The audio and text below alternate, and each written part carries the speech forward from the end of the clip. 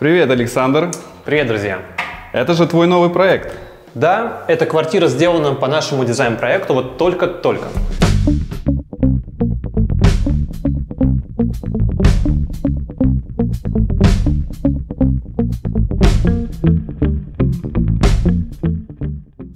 Не против? Мы зададим тебе несколько вопросов. Да, конечно, задавайте вопросы, я подробно отвечу на них на все. Сколько метров эта квартира? Это довольно большая квартира, она площадью 180 квадратных метров. Кто здесь будет жить? Здесь будет жить семья, папа, мама и трое детей. Сколько здесь комнат? Здесь 5 комнат. Это пятикомнатная квартира, соответственно, спальня родителей, три детские комнаты и объединенная гостиная с кухней. Что ж, а, может быть, тогда расскажешь нам про коридор сперва? Давайте начнем с коридора. Поехали.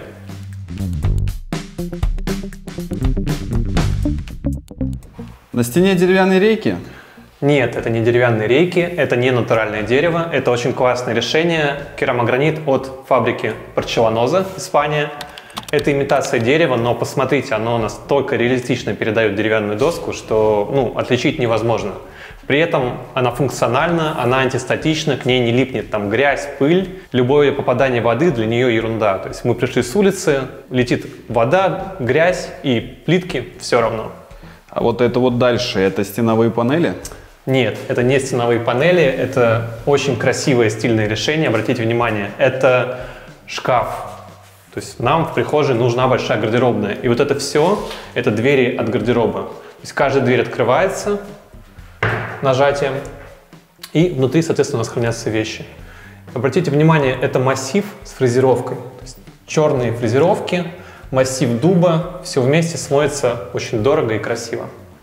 А что здесь на стенах? Это краска? На стенах тоже довольно необычное решение. Мы долго думали, что нам использовать. Либо краску, либо обои, либо все вместе. В итоге здесь стена покрыта подложкой от декоративной штукатурки. То есть, по сути, это первый слой, который обычно делают перед штукатуркой. После этого мы ее так и оставили, и получилась такая легкая шелковая поверхность. При этом она также очень хорошо реагирует на воду, на пыль, легко убирается и смотрится интересно и красиво. Я у тебя в инстаграме подсмотрел, что здесь есть огромная декоративная колонна. Пойдемте покажу, это классная штука. Колонна является конструктивным решением здания, на ней висит перекрытие, ее никуда не убрать, она здесь будет в любом случае, от нее не избавиться. И мы решили ее декорировать следующим образом. Мы по периметру приклеили рейки, то есть такое вот банально избитое решение с этими реечками, но здесь оно совершенно по-другому смотрится. Они ее опоясывают, внутри проклеено темное дерево, и получилось такое красивое дерево, которое мы еще и сверху подсветили. Нас зрители интересует самое стильное помещение в этой квартире. Покажешь? Пойдемте покажу, конечно, это гостиная. Обратите внимание, здесь еще очень стильное зеркало, оно подсвечено с торца в металлической раме. И кроме того, в прихожей нам нужно было как-то декорировать вот эту стену. И здесь куплена классная картина, это массив дерева, оно привезено из Индонезии. Это такая, ну, по сути, это арт-объект, он стоит, стоит тоже нормально. Это прокрашенное дерево маслом интересное, смотрится супер стильно. Ну, пойдемте, покажу самый, самый стиль. Это кухня, гостиная. Александр, расскажи, пожалуйста, на чем ты стоишь? Это очень модное решение, терраса. У нас многие ассоциируют это со школьными столовыми. На самом деле в Европе это супер популярное решение. Это гранитная крошка, перемешку с бетоном, делающий вот такой природный красивый рисунок. На самом деле, конечно же, это имитация терраса, это керамогранит от фабрики Порчеланоза. Размер плитки 80 на 80, но она очень здесь красиво, стильно затерта. Цвет подобран просто вот в тон. И кажется, что это вот одно такое большое каменное полотно. При этом оно смотрится очень так классически, не раздражает и эта плитка будет смотреться еще вот точно лет 10, она никак не устареет и будет смотреться актуально. А из какого материала панно на стене? Здесь на самом деле два панно. У нас э, гостиная разделена на две зоны. Зона обеда и зона диванная с телевизором. Конечно, самая яркая деталь – это вот это гипсовое панно. Он полностью 3D-шный, обратите внимание, то есть здесь нет ни одной параллельной грани, и монтажники просто запарились все это монтировать. Плюс внутри еще везде идет подсветка, и мы получаем вот такой интересный рисунок. Особенно это ярко смотрится ночью, когда вот можно оставить только его, и будет очень интересная подсветка. А что это на стене в обеденной зоне? Соответственно, зону стола мы выделили панелями Это шпанированные панели со шпоном ореха. Посмотрите, какой красивый материал, как он направлен. И он, конечно же, сильно, я считаю, выигрывает у шпона дуба, потому что он более такой яркий, контрастный и интересный. Притом мы пустили шпон под разными углами, то есть получился такой, видите, под 45 угол, еще сверху подсветили вот этими красивыми черными бра. Все вместе на фоне белого каменного стола дает очень красивую картинку. Я вижу здесь очень крутой стол. С какого материала сделана столешница? Да, это очень стильный стол, приехавший к нам из Италии. Столешница сделана из натурального камня. Подстолье сделано из такого черного крашеного металла в порошковой краске, но итальянцы накосячили, и к нам пришла столешница не того цвета. Она должна была быть не белая, а вот такая темно-серая.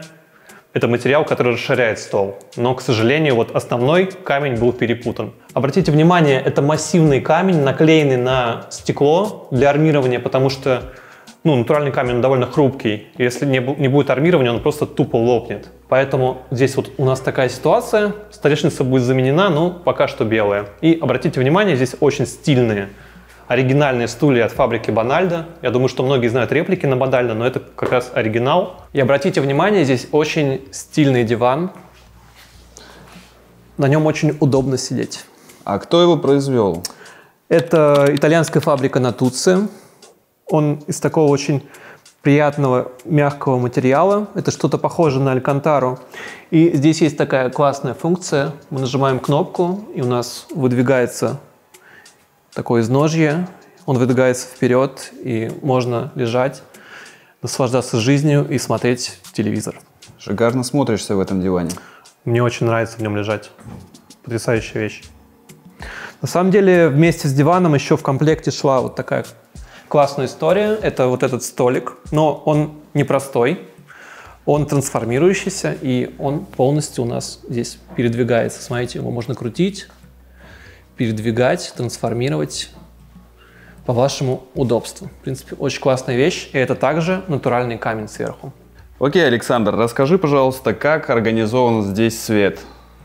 Мы, как во всех проектах, любим сложный свет, сложные схемы освещения и делим источники на разные группы. У нас есть несколько групп. Например, есть группа, связанная с кухней. Это подсветка кухни для рабочей поверхности. Это подсветка острова. Она здесь такая интересная, подвешенная на тросике с трансформатором, то есть она освещает вот эту рабочую поверхность. Кроме того, есть декоративная подсветка панелей и декоративная подсветка стены. Она очень хорошо смотрится вечером, когда можно оставить только ее и наслаждаться таким вот аккуратным, легким светом вечерним. Смотреть телевизор, отдыхать. Очень приятно смотрится. Кроме того, есть общий свет. Это вот эти профильные системы, они дают самый яркий свет, который вот полностью покрывает всю комнату. Это нужно, чтобы там, делать уборку, когда нужно много-много света. Кроме того, есть еще локальные источники. Это встроенный в потолок по периметру шинопрофиль, в который вставляются магнитные светильники, их можно добавлять, убавлять, которые локально подсвечивают какие-то участки, например, кухню, стену, что-то еще. То есть это такое больше освещение для настроения. Александр, а теперь расскажи про самую волнующую на ютубе тему – это кухня. Ну, конечно же, яркое, самое яркое пятно в этой комнате – это такая стильная голубая кухня. Цвет сложный, это не какой-то, знаете, там мультяшно-голубой, это сложный, такой интересный цвет. Это МДФ фасады, покрытые эмалью. Смоется стильно, она матовая, на ней не остается следов. И вот в массе это ну, создает яркий, интересный эффект. Кто-то говорит, что она быстро надоест, но хозяйка квартиры очень любит этот цвет, и для нее вот эта кухня просто ну, была очень сильно в радость. Смотри, а столешница – это лабрадорит, да, как у тебя дома? Да, да, это один из моих любимых материалов. Это натуральный камень, гранит. Гранит лабрадорит Blue Pearl. Если приглядеться и подсветить его, то он переливается такими маленькими кристалликами очень красиво смоется, но самое главное, что это супер твердый материал, и с ним практически ничего не происходит. То есть вы царапаете его ножом, вы ломаете свой нож, и этот материал будет служить вам долго-долго. Кроме того, здесь, кроме столешницы, также сделан и фартук. И получилась такая вот летая, красивая конструкция. Эта кухня до потолка. Это модно или практично? На самом деле эта кухня изначально была не до потолка, потому что стыковка потолка и кухни это всегда довольно сложный момент. Потолок должен быть идеальный, мебель должна быть идеальная. Ну и кроме этого, вот те верхние полки, они обычно никак не используются. Туда лазить, ну, не налазишься, хранить там нечего. И заказчики отказались от них. Но когда я увидел там эту черную дыру, я связался с мебельщиками и сказал, ребята, нужно это закрыть. И в итоге мы дозаказали глухари, то есть сверху там глухие панели, которыми мы просто закрыли вот верхнюю вот эту нишу. Теперь там не будет скапливаться грязь, там не будет ничего у нас засыпаться, лежать, храниться, но при этом мы не будем использовать место, которое мы использовать и не должны. То есть мы просто закрыли вот этот стык. А мойка? Мойка подклеена снизу же, да? Мойка подклеена снизу, это бланка, итальянская мойка, это литьевой камень. В принципе, я ну, сталь люблю больше, но в таком вот общем стиле квартиры, в принципе, черный камень тоже подошел. Здесь у нас слева находится посудомойка. Кто бы мне что ни говорил, что для правой руки, для правшей лучше иметь мойку справа, здесь бы она перекрыла вообще нам всю историю, поэтому она у нас здесь слева. А справа от мойки, чтобы место не пропадало, используется такое новое решение. Это называется в народе карусель, но это не обычная карусель, она вот такая, смотрите, прямая, уезжает вот сюда и выдвигается вот вверх. То есть обычно это просто такая круглая дурацкая каруселька, которая заедается. Здесь уже у нас новое технологическое решение. Правда, и стоит оно соответствующе, но за все модное и современное нужно платить. Что делать? В левой части кухни у нас находится два пенала. В правой встроена микроволновка и духовой шкаф, а в левой встроена система для холодильника. Посмотрите, какой он огромный. О, так, подожди, а где морозильная камера? Это вот такое решение, когда Самое правильное решение для встройки, я постоянно про него говорю, и все со мной постоянно спорят. Морозилка здесь находится отдельно. Она находится в острове, и здесь три таких больших секции для заморозки. Кроме того, обратите внимание, с другой стороны острова у нас находится вместительный винный шкаф. Здесь поместится, ну, не знаю, можно посчитать, 10 на 2, ну, порядка 20 бутылок хорошего белого вина. Окей, Александр, а теперь покажи нам приватные зоны. Погнали, покажу. Подожди, подожди, а что здесь находится? За этой дверью находится постирочная. Это гостевой санузел и душевая зона. Воу, воу, воу, подожди, это что, душевая кабина? Они еще актуальны? Ну, это не совсем душевая кабина, по сути, это такой полноценный паровой бокс, то есть там есть и гидромассаж, и душ, и там 33 удовольствия, плюс еще даже есть хромотерапия с светом. И обратите внимание, здесь такой модный, модный момент, это пластиковое кресло, и все, кто говорят, что сидя мыться плохо, они просто ни разу не мылись сидя. Это супер удобно. При этом мы целиком интегрировали ее, поставили, нам не нужно было заморачиваться там, со скрытыми всякими креплениями, трапами, с э, строительным исполнением душевой зоны. То есть это готовое решение, которое мы просто сюда поставили. А вот эта плитка за тобой, это имитация дерева? Да, да, это порчеланоза. Она имитирует такой срубленные вот э, деревянные бруски, затирается и смоется одним таким стильным панно.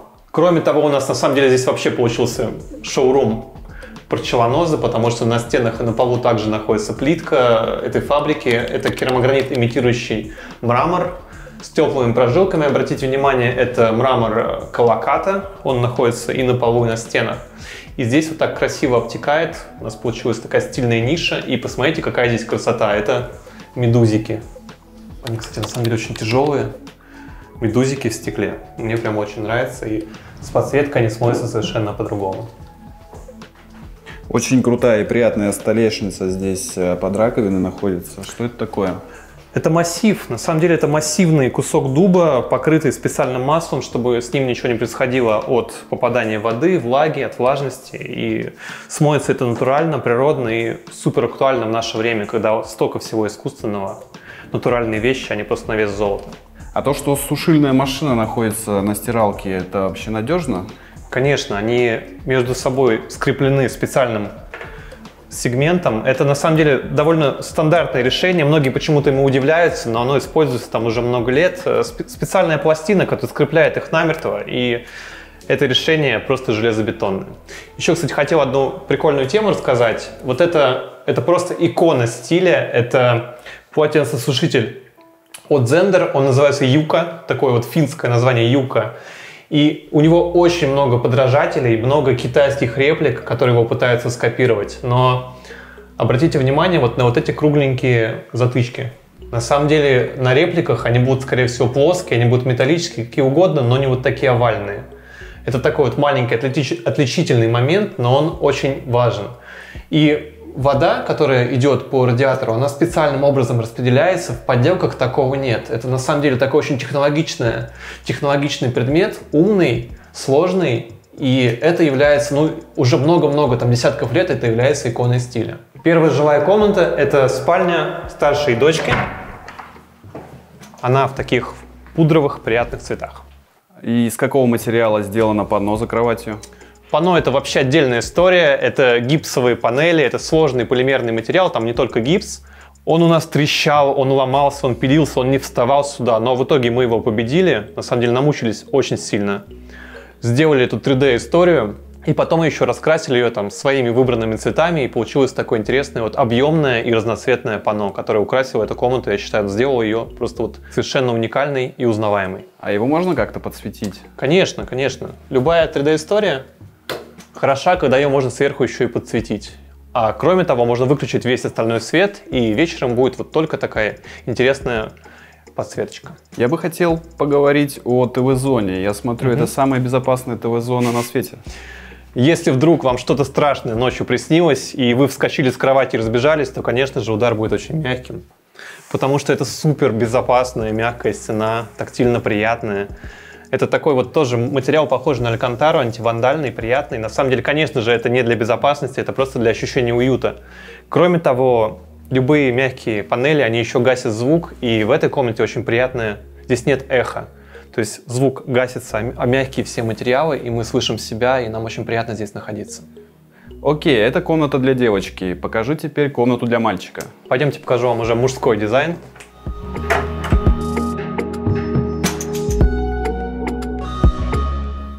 Я бы не сказал, что она там супер какая-то брутальная, жесткая, но в принципе это такая пацанская комната для парня. Здесь много интересных приемов. Из какого материала корпусная мебель? На самом деле здесь вся корпусная мебель делалась на заказ. Это в основном МДФ, э, крашеный в эмали. И там, где какие-то есть элементы, которые не видны, мы делали их из ДСП, уже из более простого материала, где не нужно там, вбиваться, можно сэкономить. А все фасады, конечно же, это крашеная, красивая, красивая эмаль. А это на стене обои, да? Да, конечно. Знаете, у нас просто был старый ремонт, мы отодрали обои, но нет, конечно же нет, это фреска. Посмотрите, как красиво здесь обыграна тема. Здесь карта мира, это наша планета. Расклеенная через обои. Такое, ну, интересное, прикольное решение, мне очень нравится. Э, я видел эти штуки в комнате для девочки. Это же светильник, да? Конечно, это очень удобное решение для сна. Вот мы повернули, вот так провели, и у нас появился яркий свет для чтения. Провели еще раз, он выключился. Это удобно, комфортно и помните, что вот эти все светильники, которые висят рядом с кроватью, на самом деле для чтения они не очень подходят. Они подходят для какого-то вечер... вечернего света, пойти в ванну, ночью там пойти покушать. Но именно читать, конечно же, лучше всего вот под этой штукой. Это супер комфортно. Они идут здесь в комплекте с кроватью, потому что кровати, что у девочки, что у мальчика, это вот такие итальянские комплекты вместе с лампами. Смотрится классно, это очень удобно. Окей, расскажи теперь про шкаф. Шкаф также делался на заказ, по сути, как и вся корпусная мебель. Это система push to open, то есть многие ее называют как там push push up. Push to open, то есть она одним нажатием открывается. Здесь у нас функциональные полочки для каких-то красивых вещей, игрушек. И внутри они все у нас подсвечены для красоты.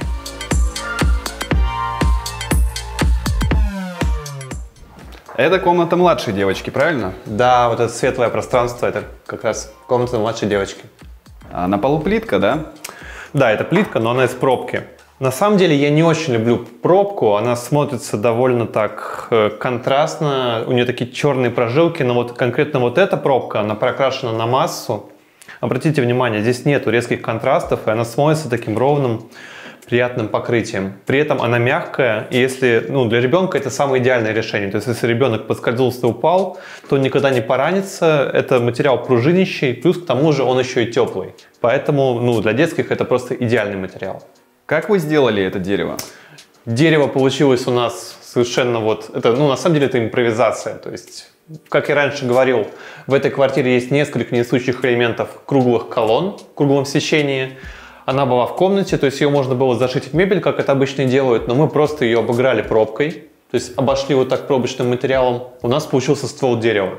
Дальше мы просто вырезали, добавили ветки, добавили листья, и у нас вот вся стена получилась такое красивое пробковое дерево. Потом мы на него посадили сов, которых мастер здесь вырезал прямо здесь вот на квартире из этой пробки, чтобы подыграть обоям на противоположной стене. И получилась такая яркая, красивая детская. Вообще комната большая. На какие зоны она поделена? Комната действительно большая, потому что мы присоединили к обычной комнате еще и балконное пространство. И у нас получилось несколько функциональных зон. То есть зона сна с хранением и кроваткой, телевизором. Здесь получилась зона игр, потому что здесь есть стеллажи, шкафы, здесь много, много игрушек разных хранить. Вот у нас вигвам стоит. А справа, за углом, здесь еще не обжитая территория, но здесь огромный стол, здесь можно играть, рисовать, заниматься творчеством. То есть все виды деятельности можно устраивать в этой комнате. Окей, с детьми мы разобрались. Теперь покажи нам спальню родителей. Пойдемте.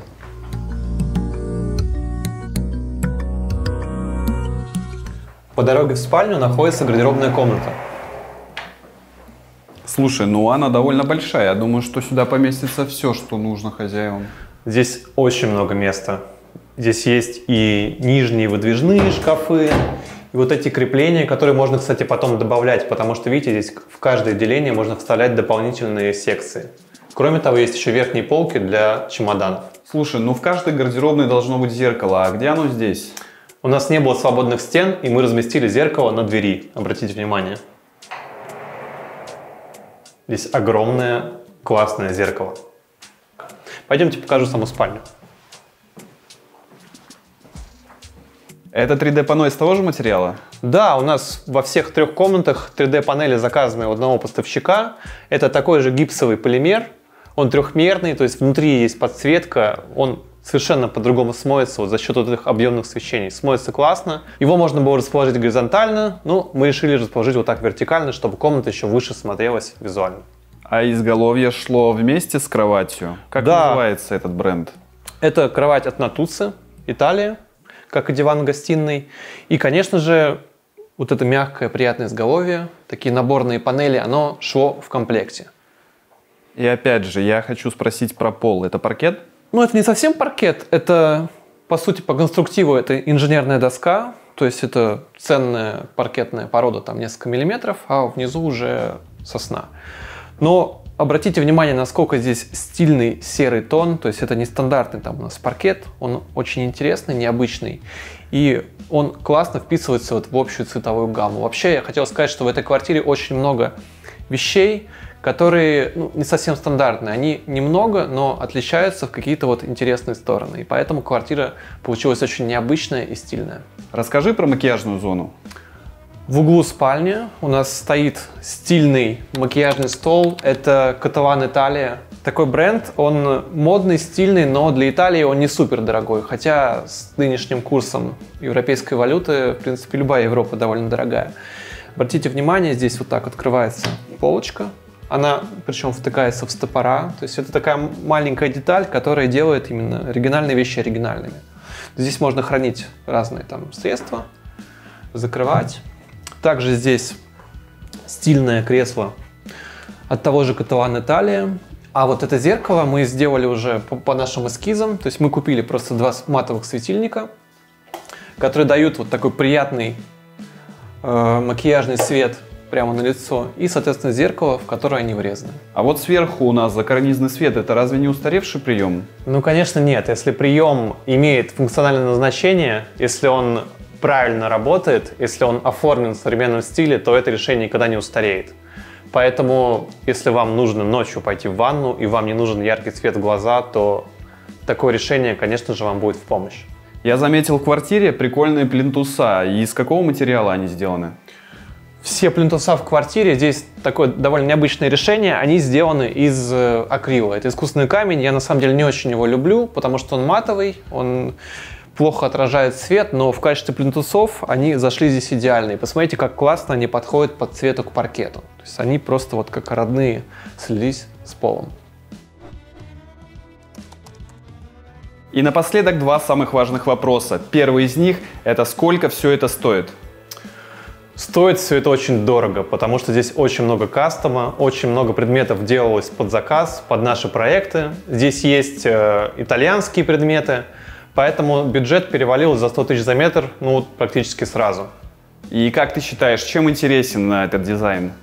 Вот именно этим он и интересен. Здесь все свое и самобытно. Здесь все сделано на заказ, и нет предметов, которые будут повторяться на других проектах. Этот проект уникален.